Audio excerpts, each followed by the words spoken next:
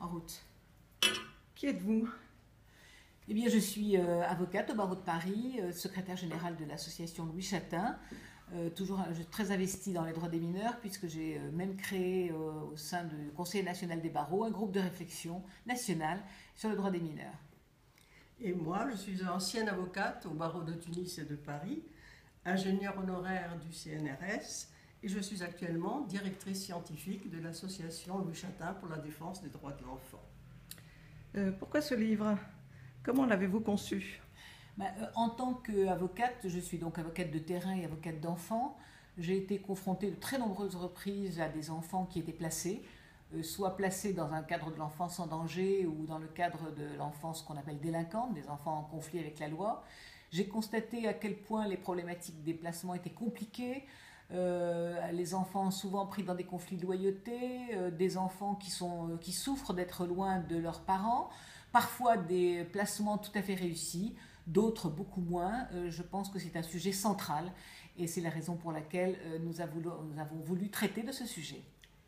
Et moi, été hantée par l'histoire de Baptiste, abandonné par ses parents, ballotté de foyer en famille d'accueil, qui le jour de ses 18 ans est mis à la porte du centre éducatif renforcé où il avait été placé et se retrouve à la rue sans éducateur, sans un euro, sans personne à qui parler.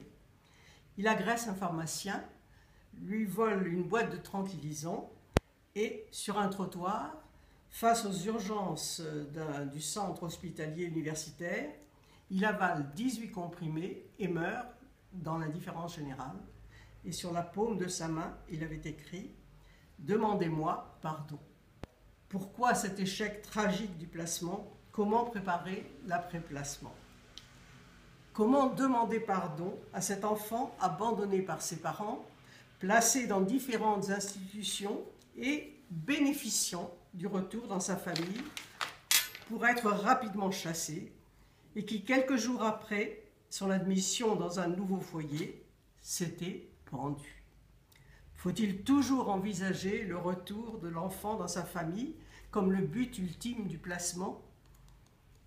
Bah, Vous voyez donc que les sujets sont extrêmement euh, complexes. C'est la raison pour laquelle nous avons proposé aux membres de l'association de traiter de ce sujet et de traiter ce sujet, bien entendu, de manière euh, totalement euh, pluridisciplinaire. C'est l'originalité de le traiter en voyant nos pratiques dans notre pays, réfléchir euh, avec les professionnels de chacun de leur point de vue, de réfléchir également euh, avec les pratiques dans d'autres pays, comment améliorer nos pratiques dans l'intérêt de ces enfants en grande détresse.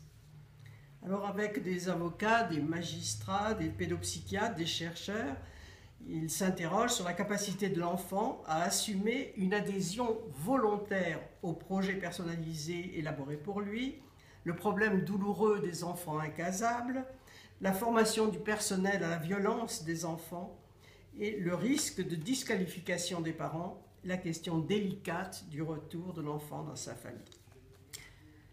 À qui s'adressent donc ces documents À tout le monde, on va dire. Nous sommes tous intéressés par l'enfance, mais aussi aux spécialistes, alors aux chercheurs, mais aussi aux personnes de terrain. À tous ceux qui tous les jours euh, s'interrogent, tous les jours sont euh, confrontés à des difficultés, à chacun d'entre nous, à tous les domaines de compétences, et donc, comme je le disais au début, à chacun d'entre nous. Bravo.